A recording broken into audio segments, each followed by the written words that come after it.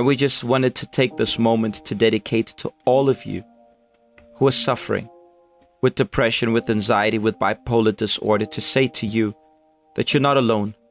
Our hands are here, ready to reach out to you and say to you that you can change your life, that you can change your future.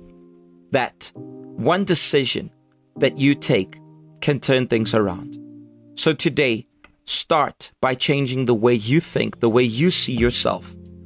Stop looking at yourself as worthless and useless because you might not know your own capacity and how great you can become. As as uh, uh, the first Kutlana said, what would you do? You would do anything to change, to overcome. Why don't you give God a chance? Why don't you give the YPG a chance to help you? Hashtag not just September. We will be fighting against mental health issues.